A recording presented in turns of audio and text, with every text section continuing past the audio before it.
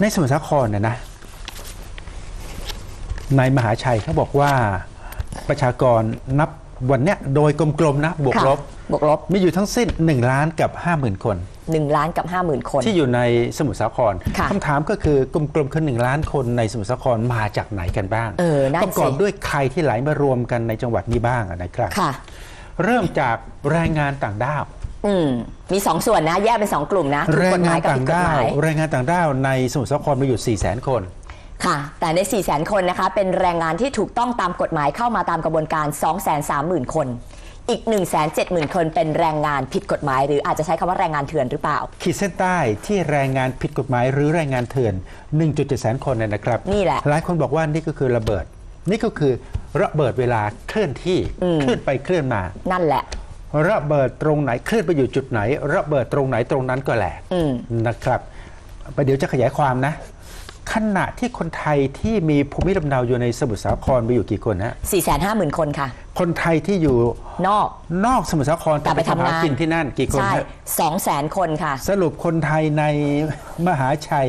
1ล้าน50,000คน ไม่ใช่6กแสนห้าหมื่นอ๋คอนไทยคนไทย คนไทย6กแสน650,000คนห้าหมื่นคนขณะที่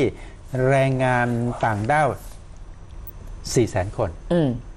และใน4 0 0 0 0 0คนก็เถื่อนๆซะแสนเจ็ดอืมนี่แหละและน่ากในลัว4 0 0 0 0 0คนแรงงานต่างด้าวเกือบจะทั้งหมดก็คือเมียนมาค่ะ ไม่มีชาติอื่นเลยไม่มีเมียนชาติมาอื่นจเลยริง ๆ แล้วเขาเป็นชุมชนไม่มีคอมมูนิตี้ชาติอื่นเลยของเมียนมาจริง ทีนี้ที่บอกว่า แรงงานเถื่อน 1.7 แสนคนมันเสมือนระเบิดขึ้นที่ก็เพราะอะไร เพราะอะไรคะ ก็เพราะเขาเป็นแรงงานเถื่อน เออ ขั้นตอนกระบวนการมาในเมื่อเป็นแรงงานไม่ถูกกฎหมายก็มาโดยไม่ถูกกฎหมายรับรู้รับทราบใช่ไหมคะ ทีนี้ทีนี้ประเด็นก็คือว่าไอ้แรงงานเถื่อนเนี่ยเขาก็รู้ตัวว่าเขาเถื่อนอืมเขากลัวจะถูกจับค่ะ เขาก็กลัวว่าเขาจะถูกส่งกลับอะแน่นอนถ้าถูกจับก็ต้องส่งกลับสิคุณมาโดยไม่ถูกกฎหหนึ่งมาย กลัวถูกจับสองแล้วทำไงกลัวคะ ถูกปรับสามกลัวถูกส่งกลับสามกลัว ดังนั้น ที่บอกว่าเป็นระเบิดเวลาเคลื่อนที่ก็คือ เขาจะไม่ปรากฏตัวนี่เขาไงจะหนี ก็หนีไงเออแล้วเราเขาจะจะตามหนีจับยังไงเดี๋ยวเอามาตรวจเชื้อยังไงอะเขาจะหนีค่ะหนีไปไหนคะ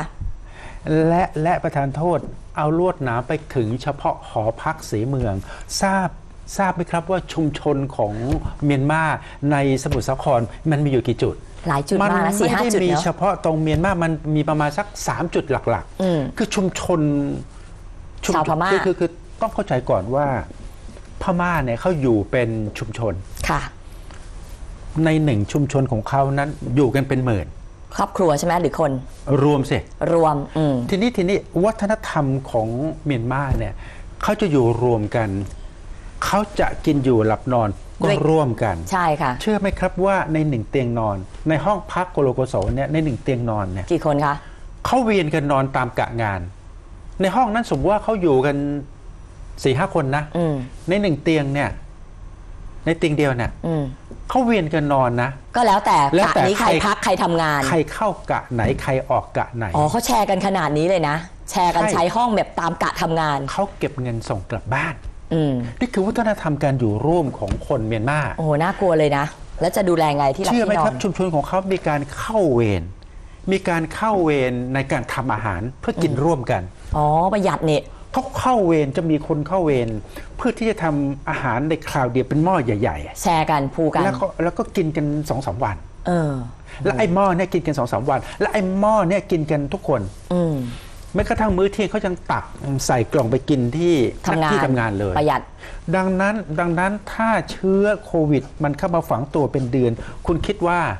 ไปหมดแล้วล่ะ ไปหมดไหมไปหมดละ แต่อยู่ที่ว่าใครแข็งแรง ทีนี้หรือใครไม่แข็งแรทีงนี้ไอ้เชื้อที่เจอน่ะมันเป็นเชื้อตัวที่ไม่แสดงอาการ นี่ไงไม่มีอาการไข้ คือถ้าไม่ตรวจเชื้อนะ ไม่รู้ว่าเป็นเพราะมันไม่ออกอาการคืย่งนี้ถ้าไม่ล้วงจมูกไม่รู้ จริง เมื่อไม่มีอาการไข้คุณเอาเครื่องวัดอุณหภูมิคุณจับไม่ได้ ไม่รู้ก็เขาไม่มีอาการไง ทีนี้ทีนี้โดยวัฒนธรรมการอยู่ร่วมของคนเมียนมาเนี่ย ติดคนหนึ่งมันจะไปกันทั้งหมด